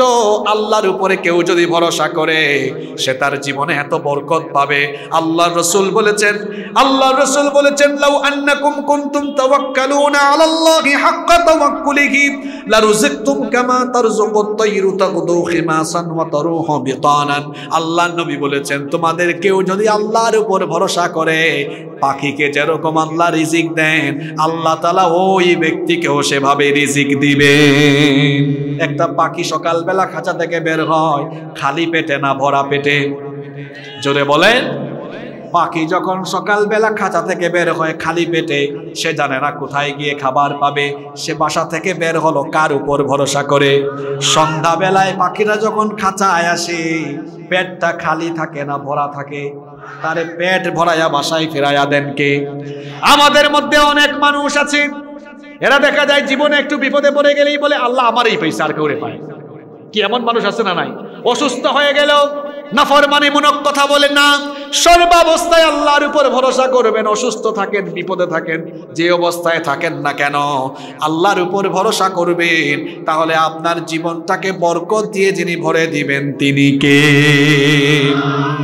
নয় নম্বর, জীবনে বরকত পেতে চান ইস্তেক ইস্তেকভারের আমল নিজের মধ্যে ডেভেলপ নূহ আলাইহিসালাম তার অবাধ্য কমকে বলেছিলেন ফাকুল তুস্তাগফিরু রাব্বাকুম ইন্নাহু কানা গফফারা ইউরসিলিস সামাআ আলাইকুম মিদারারা ওয়া ইউমদিদকুম بأموال وبنين ويجعل لكم جنات ويجعل لكم أنهارا الله تعالى বলছেন নোহ বলেছিলেন হে আমার কম, তোমরা আল্লাহর দরবারে ক্ষমা প্রার্থনা করো, নিশ্চয়ই তিনি ক্ষমাশীল।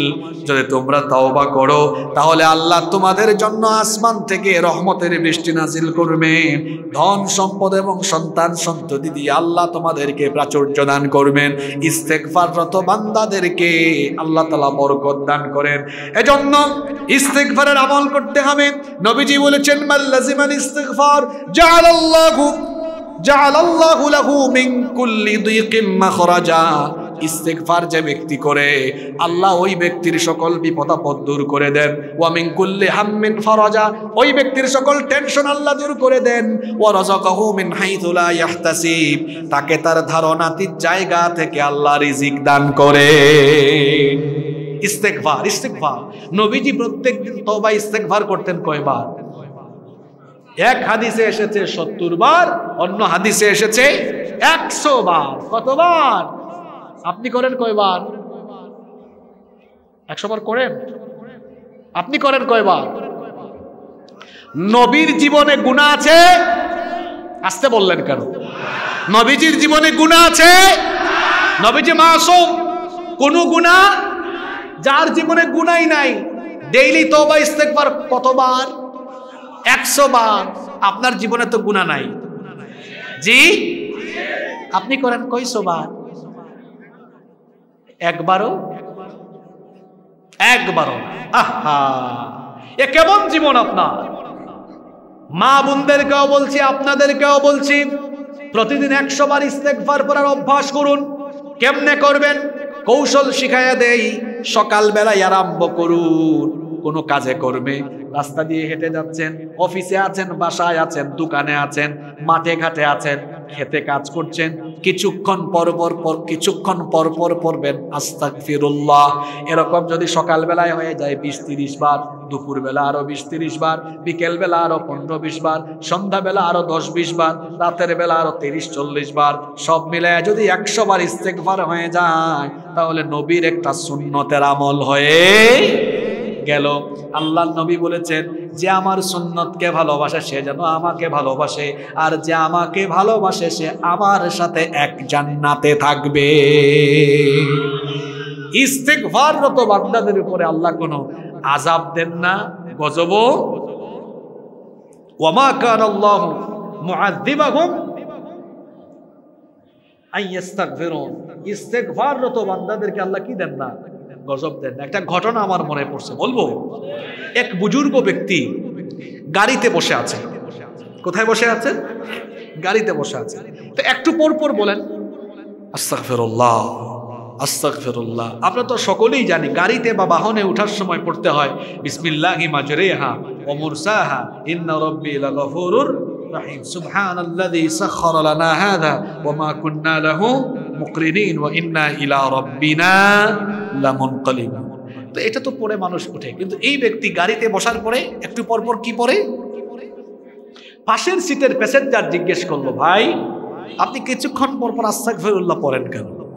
তিনি তখন এই সুরা আনফালের এই আয়াত দিয়ে জবাব দিলেন বললেন, আল্লাহ তালা কোরআনে বলেছেন ইস্তেকভাররত বান্দার উপরে আল্লাহ কোনো আজাব দেন না, গজব। আসলে আমি গাড়িতে আছি, এই গাড়ির মধ্যে রিস্ক কম না বেশি। যে কোনো মুহূর্তে দুর্ঘটনা হতে পারে কি পারে না। শুধু গাড়ি নয়, বাড়িতে থাকলে দুর্ঘটনা হতে পারে না। এই যে গত পরশু দিন আপনাদের এই চাপাই নবাবগঞ্জের কিছু অঞ্চলে ভয়াবহ ঝড় তুফান হয়েছে। হয় নাই? অনেকের ঘর বাড়ির টিন উড়ে গিয়েছে। বাড়িতে থাকলেও ভূমিকম্প, ঘূর্ণিঝড়ে চাপা পড়ে মেরে মারা যেতে পারেন কি পারেন না? এই দুনিয়াতে কি কোনো সেফ জোন আছে? নিরাপদ কোনো জায়গা আছে? গাড়িতে, বাড়িতে, রাস্তাঘাটে, মাহফিলে যেখানেই থাকবেন, বিপদ সব জায়গায় আসতে পারে। ওই বুজুর্গ ব্যক্তি বললেন, দেখো, দুনিয়াতে সেফ জায়গা কোথাও নাই। সব জায়গায় রিস্ক আছে, রিস্কি জুড়ে বসবাস করি। যে কোনো সময় বিপদ হতে পারে, আর গাড়িতে তো বিপদ যে কোনো সময় হতে পারে। আমি শুধু গাড়িতে না, বাড়িতে, গাড়িতে, রাস্তাঘাটে, যেখানেই থাকি ইস্তেকভার আমি সব সময় করি দুইটা কারণে। এক নাম্বার হচ্ছে আল্লাহ কোরআনে ওয়াদা করেছেন ইস্তেকভারকারীকে আল্লাহ কোনো আজাব দিবেন না, গজব দিবেন না। আর ইস্তেকভার সব সময় পড়ি, আমার নবীর সুন্নতকে ভালোবাসি। তিনি প্রত্যেক দিন একশো বার তওবা করতেন ইস্তেকভার করতেন, আমিও ডেইলি একশো বার করি। সুবহানাল্লাহ। কয়টা লাভ? জোরে বলেন। দুইটার সাথে আজকের আলোচনার আরও একটা। হইল কয়টা তিনটা কীভাবে? এক নাম্বার ইস্তেকভাররতদের উপর আল্লাহ কোনো গজব দেন না। দুই নাম্বার, যিনি ইস্তেকভার করেন, নবীর একশো বার করলে নবীর সুন্নতের আমল হয়। তিন নাম্বার, ওই যে ইস্তেকভার করলে আল্লাহ জীবনে কি দেন? জোরে বলেন। ইস্তেকভারের আমল করবেন তো? ডেইলি কয়বার? একশো বার। ইনশা কষ্ট হচ্ছে নাকি আপনাদের? শেষ পর্যায়ে চলে আসছি, এখন শুরু হবে কুইজ দশ নম্বর আমল হলো, জীবনে বরকত পেতে চান, হারাম উপার্জন ছাড়েন। হালাল পন্থা ইনকাম করে কোনো আমল কবুল হবে না, কোনো দোয়া কবুল হবে না, রমজান মাসের সৎকা কবুল হবে না, রমজানের রোজাও কবুল হবে না। যদি আপনার হালাল উপার্জন না থাকে, দোয়া কবুলের শর্ত হলো হালাল রিজিক খাওয়া। হালাল কি খাওয়া? আমাদের দেশে নামাজ, রোজা, জান্নাত, জাহান্নাম কবরের বহু ওয়াজ হয়। কিন্তু এগুলোর আগে মানুষকে এটাও বোঝানো দরকার, ভাই, হালাল খাও। নইলে কোনো ইবাদত কবুল আর হারামে কোনো আরাম, হারামে কোনো আরাম। যারা দুর্নীতি করে, লুটপাট করে, মানুষের টাকা মেরে দিয়ে, জনগণের হক মেরে, যারা টাকা পয়সা কামিয়েছে এই হারাম সম্পদ থাকবে না। যারা এরকম করে সম্পদ কামায়, দেখা যাবে তার মৃত্যুর আগেই তাকে আল্লাহ বড় বড় রোগ দিবেন ওই রোগের জন্য এই হারাম পয়সা বিদেশে গিয়া খরচ করা লাগবে, অথবা তার বউ পাগল হয়ে যাবে, তার সন্তান মাদকাসক্ত হয়ে যাবে, তার টাকা পয়সা দুনিয়াতেই শেষ হয়ে যাবে, কোনো পয়সা কাজে লাগবে না। হারামে কোনো আরাম? জীবনে বরকত চান হালাল। যতটুকু উপার্জন করেন হালাল পন্থায় এবং আল্লাহ যতটুকু দিয়েছেন, আল্লাহর উপর সন্তুষ্ট থাকতে হবে। এগারো নম্বর, জীবনে বরকত পেতে চাইলে, সম্পদে বরকত পেতে চাইলে দান, সৎকার করতে হবে। জোরে বলুন তো কি করতে হবে? এই তো আমার এটা করেই ফেলেছেন আপনারা। আজকের মাহফিলও আপনারা সৎকা করেছেন, প্রতিদিন কিছু সৎকার চেষ্টা করবেন। আল্লাহর হাবিব বলেছেন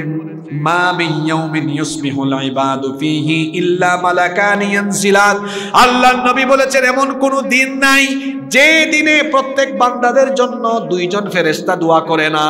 প্রতিদিন আমাদের জন্য কয়জন ফেরেশতা দোয়া করে? জুড়ে বলেন কয়জন? কি দোয়া করেন?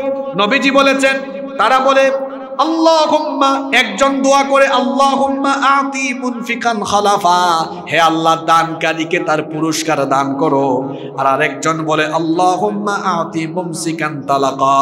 হে আল্লাহুম্মা আতি তালাফা। হে আল্লাহ, কৃপণ ব্যক্তির সম্পদ তুমি ধ্বংস করে দাও। আমরা কৃপণ হতে চাই নাকি দানশীল হতে চাই? মা বোনরা যারা মহিলা প্যান্ডেল থেকে শুনছেন, আপনারা তো প্রতিদিন বাড়ি থেকে বের হতে পারেন না। আপনারা প্রতিদিন দান করার সুযোগ পান না।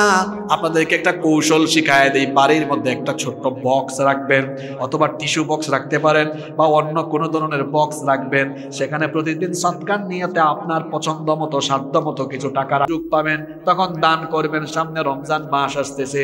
প্রত্যেক দিন আমরা দান করার চেষ্টা করব। তাহলে আমাদের উপার্জন এবং রিজিকে এক কথায় জীবনে বরকত যিনি দিয়ে দিবেন, তিনি কে?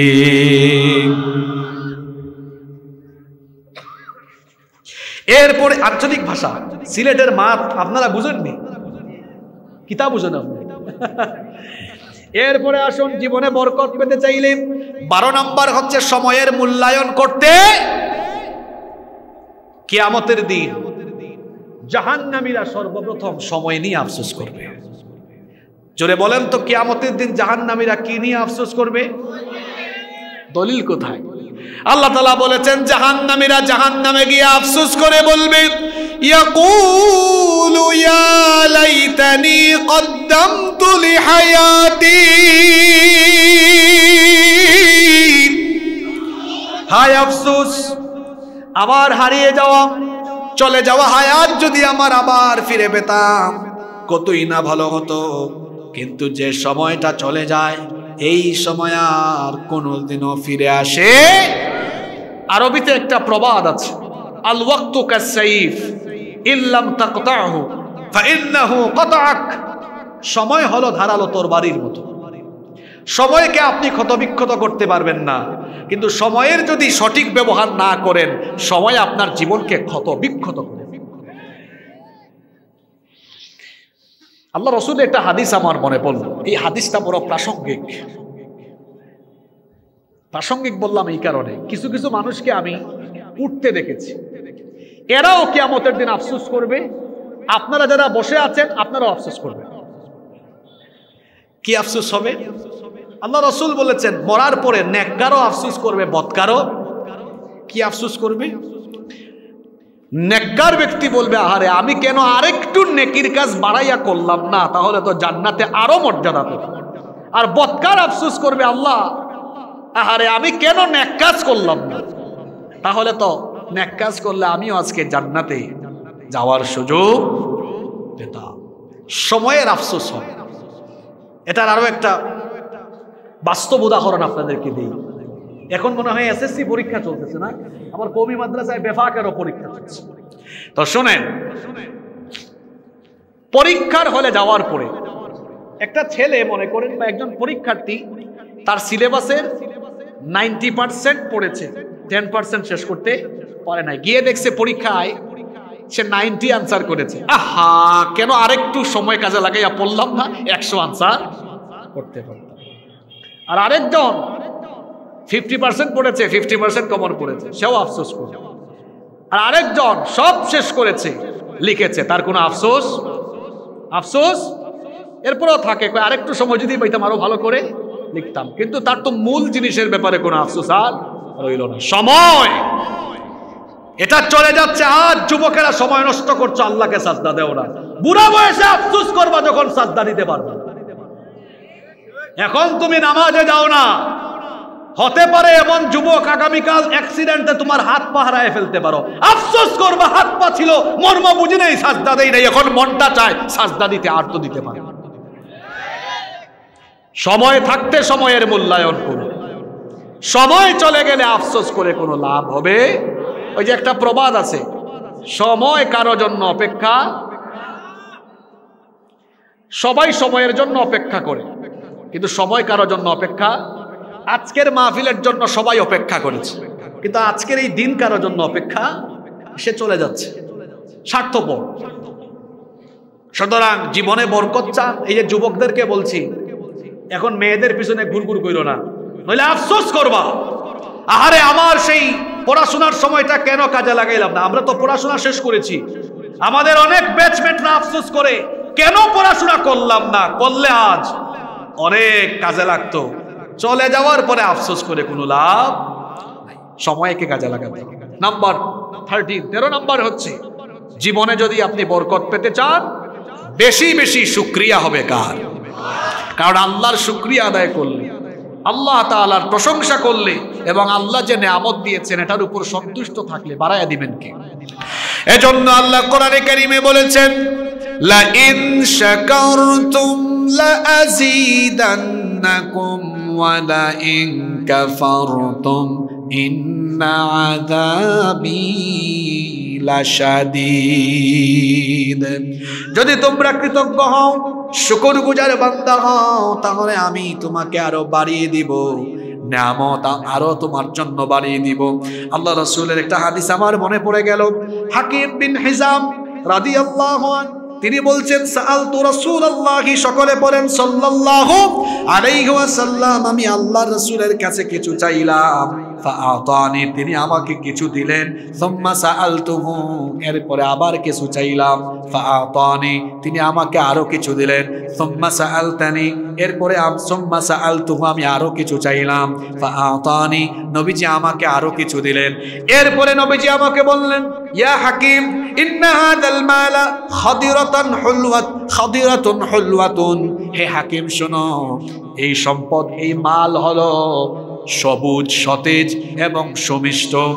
মান আখাদাহু বিসাখাওয়াতিন নাফসিন বুরিকা লাহু ফি, যে ব্যক্তি হাত না পেতে এবং লোভ লালসা ছাড়া কোনো সম্পদ পায়, ওই সম্পদের মধ্যে যিনি বরকত দান করেন তিনি কে? নবীজি আরও বললেন, ওয়ামান আখাযাহু বিইশরাফিন নাফসি লাম ইউবারাক লাম ইউবারাক লাহু ফিহি, ওয়া কানা কাল্লাযী ইয়াকুলু ওয়া লা ইয়াশবাউ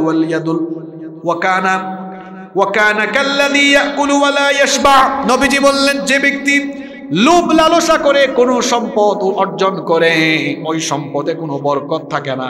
তেমন যে ব্যক্তি খাবার দাবার খেলো, খাবার দাবার খাওয়ার পরেও দেখা যায় কোনো মানুষের পেট যেমন ভরে না। ঠিক তেমনি ভাবে লোভ লালসা করে যারা সম্পদ কামায়, তাদের সম্পদেও কোনো বরকত হয়।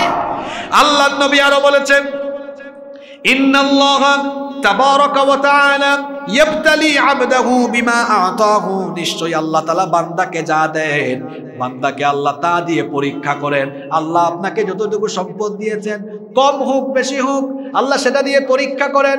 আল্লাহ তাআলা যে সম্পদ দিলেন, কীভাবে পরীক্ষা করেন, নবীজি বলেছেন, ফামান রাদিয়া বিমা কাসামাল্লাহু আজ্জা ওয়া জাল্লা, বারাকাল্লাহু লাহু ফি ফি ওয়া ওয়াসাহু আল্লাহ নবী বলেছেন, যে ব্যক্তি আল্লাহর তরফ থেকে যতটুকু পেয়েছে পাওয়ার পরে সে যদি সন্তুষ্ট হয়, আল্লাহ সেই সম্পদের মধ্যে বরকত বাড়িয়ে দেন। ওয়ামাল্লাম আর আল্লাহর কাছ থেকে পাওয়ার পরে যারা, আল্লাহর কাছ থেকে পাওয়ার পরে যারা সন্তুষ্ট হয় না, এদের সম্পদের মধ্যেও কোনো বরকত থাকে উপরের দিকে তাকাবেন না, নিচের দিকে তাকাবেন। আপনার সাইকেল আছে, আপনি হ্যাঁ আপনি দেখছেন আরেকজনের মোটর সাইকেল আছে, ইস, আমার যদি মোটর সাইকেল থাকল, ওর দিকে তাকায় না, নিচের দিকে তাকান, অনেক মানুষের বাইসাইকেল নাই, হেঁটে হেঁটে কথা বুঝতেছেন? আপনি টিনের বাড়িতে থাকেন, আরেকজন বিল্ডিং এ থাকে বিল্ডিং এর দিকে তাকায়েন না। কত মানুষ বাড়ি ঘর নাই, রাস্তাঘাটে ঘুমায়। তার চাইতে আপনি ভালো আছেন। এই অভ্যাস পুরুষের চাইতে মহিলার বেশি।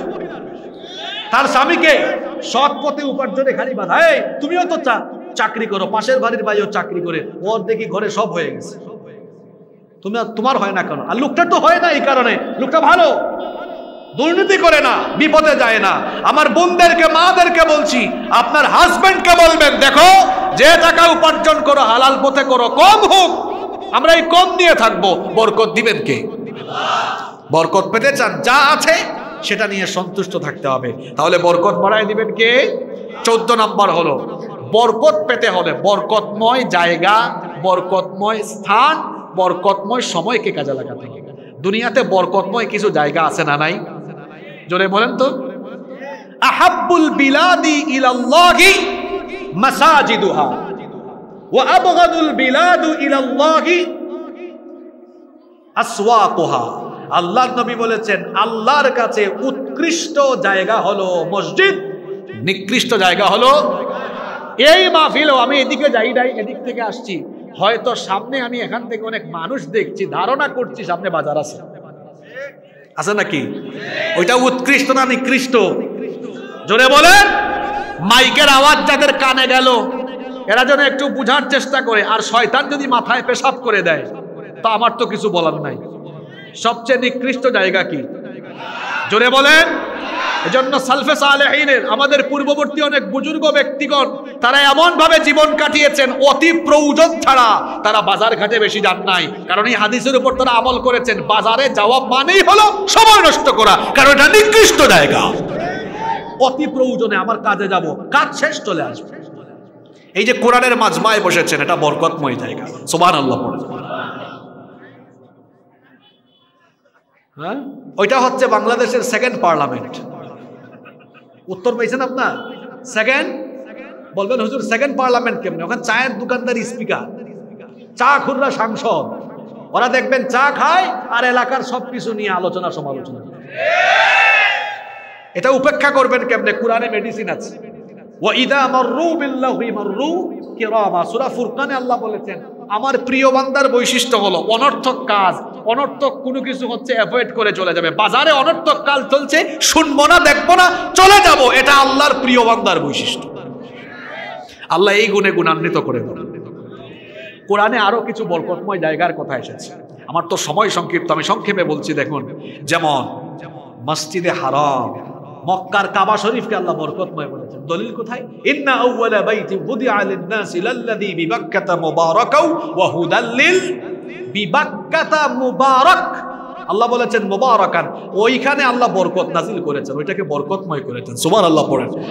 মসজিদে আকসা, এর আশপাশের এলাকাও আল্লাহ বরকতময় বলেছেন। সুবহান আল্লাযী আসরা বিআবদিহি লাইলাম মিনাল মসজিদিল হারামি ইলাল মসজিদিল আকসা। আল্লাযী বারাকনা। হাউলাহু এই বরকতময় জায়গা মসজিদে আকসা নিয়ে আজকের পৃথিবীতে ইহুদিরা কত চেষ্টা করছে এই মসজিদে আকসাকে তারা কেড়ে নিবে, ফিলিস্তিনিদেরকে তারা বাস্তুচ্যুত করে দিবে। আজ এই মজলুম ফিলিস্তিনিদের পক্ষে আমাদেরকে কথা বলতে হবে। এই ফিলিস্তিন অঞ্চলকে এই শাম অঞ্চলের ব্যাপারে নবীজি ভবিষ্যৎবাণী করেছেন। কিয়ামতের আগে এই অঞ্চল হবে দুনিয়া পরিচালনার কেন্দ্রবিন্দু। এই শাম অঞ্চল হবে গোটা দুনিয়া শাসন ব্যবস্থার হেডকোয়ার্টার ইমাম মাহদি এসে এই শাম অঞ্চল থেকে গোটা পৃথিবীকে নেতৃত্ব দিবেন, ইনশাআল্লাহ। বরকতময় কিছু সময়ও আছে। যেমন জুমার দিন। বরকতময় দিন। আর সামনে তো আসতেছে বরকতময় মাস। এটার নাম কি? তো বরকত পেতে হলে বরকতময় জায়গায় যাওয়ার সুযোগ পেলে ইবাদত করবেন। অনেকে আছে কাবা শরীফিকে খালি ছবি মারে। ওটা বরকতময় জায়গা। তওয়াফ করেন, দোয়া করেন। এরপরে বরকতময় সময় রমজান আসলে পরে আহারে, সময়কে কাজে লাগাবেন। বরকতের মাসে বরকত নেন। রমজান মাসে দোয়া কবুল হওয়ার কিছু সময় আছে না নাই? ইফতারের আগে দোয়া। জোরে বলেন, আপনারা ইফতারের আগে কি করেন? বেশিরভাগ যুবকরা মোবাইল। আর খালি ঘড়ির দিকে তাকায়। টাইম হয় না কেন? তাড়াহুড়া করে। ইফতারের আগে দুরুদ পড়বেন, ইস্তিগফার করবেন, আর আল্লাহর কাছে দোয়া করবেন। কারণ নবীজি বলেছেন, ইফতারের আগে দোয়া ফিরাইয়া দেওয়া হয় না। সুবহানাল্লাহ।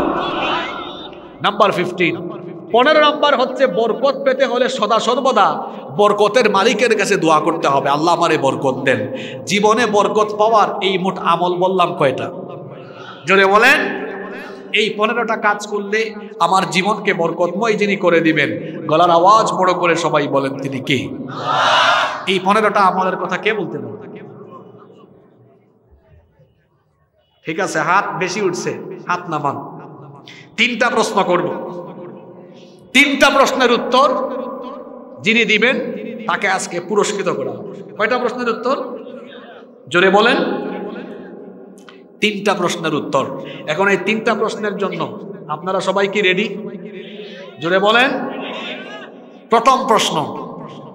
আজকের আলোচনার ভেতরে ইস্তেকভারের কয়েকটা ফজিলতের কথা বলেছি। ইস্তেকভারের না, কেউ উত্তর দিতে পারবেন না, হাত তুলতে হবে যিনি পারেন। ইস্তেকভারের কয়টা ফজিলত বলেছে? ব্যাস, হাত তুলবেন।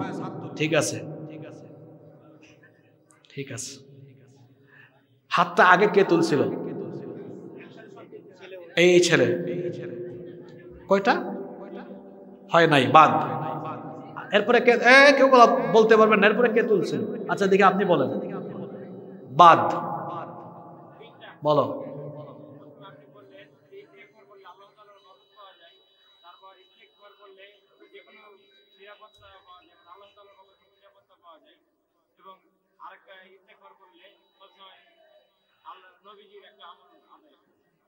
মাশাআল্লাহ মাশাআল্লাহ বলেন। ঠিক আছে, প্রশ্ন একটা হয়েছে, কিন্তু সে লাইনে আছে। এখন যদি আরেকজন দাঁড়ায়া যায়, আরেকজন আরেকটা পারে, আর সে না পারে, তাহলে সমান সমান থাকে। ঠিক আছে, আমরা দুইজন পেয়ে গেছি, এক- একজন পাইছি। ঠিক আছে, এক নাম্বার প্রশ্ন করো দুই নাম্বার প্রশ্ন হলো, আমরা আলোচনার ভেতরে আজকে আলোচনা করেছি সালাম নিয়ে। সালামের ফায়দা বলেছি কয়টা? ওই ভাই আগে হাত তুলছে। ওই মাঝখানের ভাই। আপনি বলেন তো কয়টা সালামের ফায়দা? এই তো আপনি মাঝখানে হাত তুলছেন যে। দাঁড়ান। হ্যাঁ আপনি।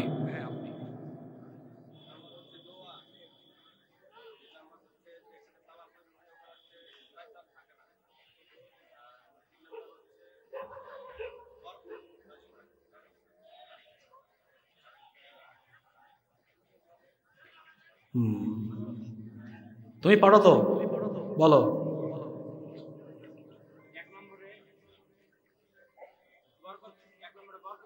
হ্যাঁ।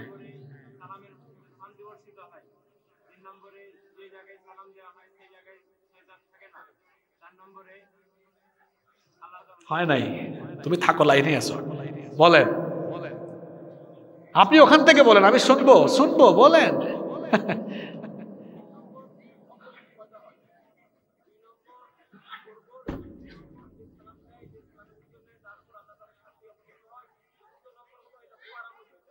আপনারও হয় নাই?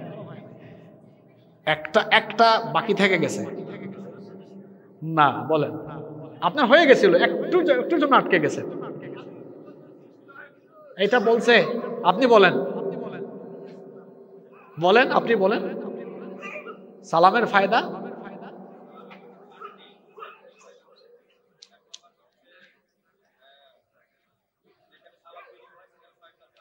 না, হয় নাই, আমি শয়তানের কথা বলি নাই। হ্যাঁ আপনি বলেন। হ্যাঁ। না, হয় নাই, এই তো, এই প্রশ্ন গুরুত্বপূর্ণ। বলেন আপনি। আলোচনা হয়েছে, চারটার কথা বলেছে। ঠিক আছে, এক। না, আপনি চারোটা বলতে হবে। চারটাই, এবং যেটা আলোচনার ভিতরে আসে আমি কিন্তু প্রতিটা পয়েন্টে দলিল দিয়েছি না। যে চারটা ফায়দা হয়, চারটা ফায়দার সাথে দলিল আছে না? আপনি দলিল হয়তো মানে পারবেন না বলতে, কিন্তু চারটা মূল পয়েন্ট বলতে হবে। পারবেন? শান্তি হ্যাঁ। না অ্যাপ্রোপ্রিয়েট হচ্ছে না।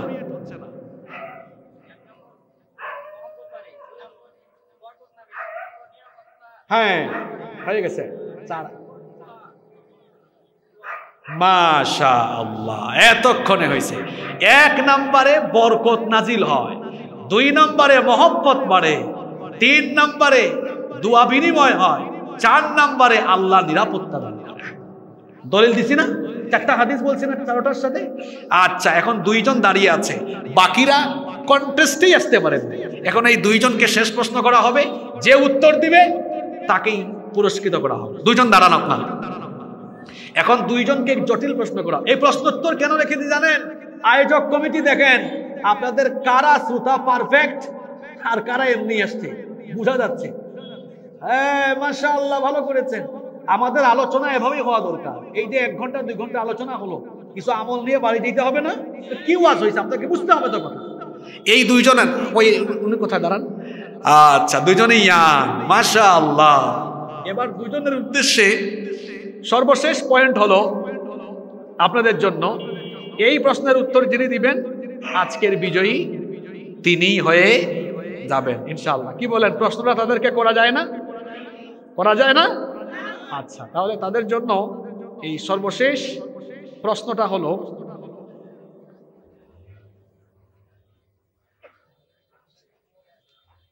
একটু কঠিন করার দরকার না প্রশ্নটা? হ্যাঁ? কারণ দুইজন তো আছে এই জন্য তাদেরকে কঠিন একটা প্রশ্ন করা হোক। কঠিন প্রশ্নটা হবে, আমরা আলোচনার প্রথমে যেটা বলছিলাম, ওটার থেকে একটা প্রশ্ন করি, তাই না? হ্যাঁ? আচ্ছা। এই যে আমরা হাঁচি নিয়ে কথা বলছিলাম না? হ্যাঁ? এখন দুইজনে কিন্তু উত্তর দেওয়া যাবে না। দুইজনে উত্তর পারে কিনা সেটা বলে। হাঁচির মাধ্যমে মানুষের স্বাস্থ্যগত কি উপকার হয়? দুজনেই পারেন এটা? আচ্ছা ঠিক আছে, দুইজনই বলুন। পারলে এই প্রশ্ন বাদ আর একটা করা হয়।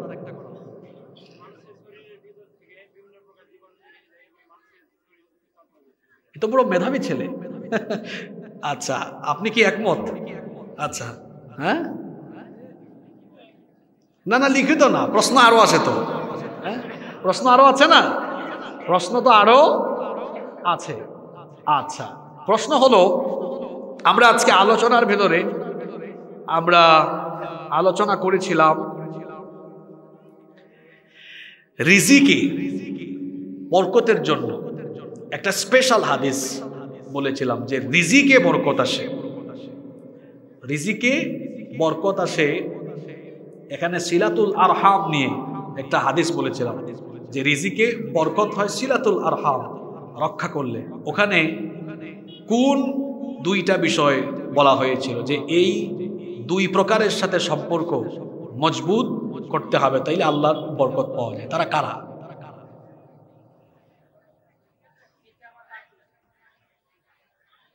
তুমি পারবা? তো এখন দেখে তুমি তো দেখে দেখে বলে বলছো যাই হোক, উত্তর দেওয়া যাবে না, ঠিক আছে? এখন হাত তুলতে হবে। যাই হোক, এটা কঠিন প্রশ্ন ছিল। এই ভাই বেশি কনসেন্ট্রেট ছিল আলোচনায়। আপনি মনে হয় পুরো আলোচনা মুখস্থ করে ফেলছেন না? একদম সিরিয়াস কোয়েশ্চেন কিন্তু, উত্তর দিয়ে ফেলেছে। কোনো অসুবিধা নাই। এবার আমরা চলে যাচ্ছি আরও একটা গুরুত্ব প্রশ্ন, গুরুত্বপূর্ণ প্রশ্নে। একটা হাদিস বলেছিলাম, যেখানে ইস্তেকভারের সাথে লেগে থাকার তিনটা, এটাও আগেরটা না এটা তো ছিল ইস্তেকভারের ফজিলত বলেছি। কিন্তু একটা হাদিস বলেছিলাম ইস্তেকভারের সাথে লেগে থাকলে, স্পেশালি আল্লাহর তরফ থেকে তিনটা এই ইয়ে আছে, পুরস্কার আছে। সেটা কি? একটা হাদিস পড়েছিলাম, কে পারেন? আপনি পারেন?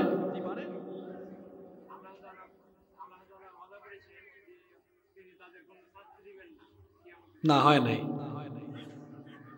আচ্ছা দুইটাই পারতেছে না এটা বলেছিলাম মাল্লাজিম আল ইস্তিগফার জাআল আল্লাহু মিন কুল্লি দিকিন মাখরাজা, ওয়া মিন কুল্লি হাম্মিন ফারাজা, ওয়া মিন হাইথু লা বলেছিলাম একটা হাদিস, বলেছিলাম, ইস্তিগফারের সাথে লেগে থাকলে আল্লাহ বিপদ দূর করে দেন।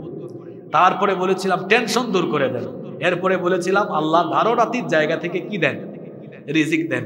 এখন এই দুইজনের মধ্যে এই পনেরোটা পয়েন্ট একটানা যে শোনাই দিতে পারবে হ্যাঁ তাকেই পুরস্কার দেওয়া হবে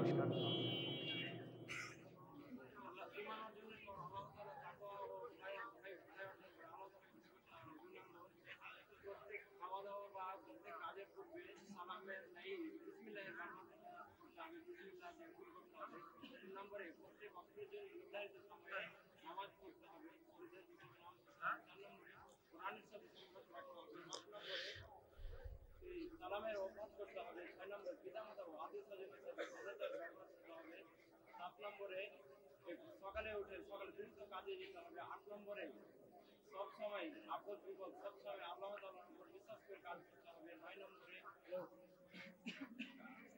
নয় নম্বরে আল্লাহ তাআলা নয় নম্বরে ইস্তেগফার ও করতে হবে, আল্লাহ তাআলাকে মাফ চাইতে হবে এবং দশ নম্বরে হারাম কাজ থেকে বিরত থাকতে হবে এবং হালাল কাজে উপর নিয়ে করতে হবে। এগারো নম্বরে এগারো নম্বরে দান সৎকার করতে হবে, বারো নম্বরে বারো নম্বরে সময়ের মূল্য দিতে হবে, তেরো নম্বরে আল্লাহ তাআলার প্রতি আদায় করতে চোদ্দ নম্বরে চোদ্দ নম্বরে দোয়া করতে হবে, পনেরো নম্বরে দান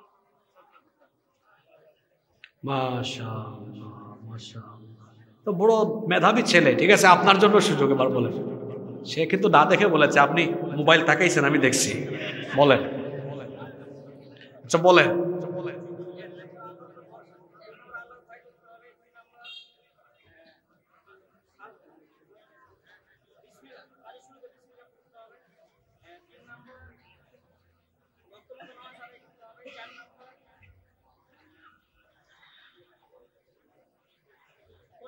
বাবার সাথে সম্পর্ক করতে হবে পাঁচ নম্বর সালাম দেওয়া করতে হবে ছয় নম্বর মা বাবার সাথে সদাচরণ করতে হবে সাত আহ, সাত নম্বর সকাল সকাল উঠতে হবে আট নম্বর আল্লাহর উপর ভরসা করতে হবে নয় নম্বর ইস্তেগফার পাঠ করতে হবে দশ নম্বর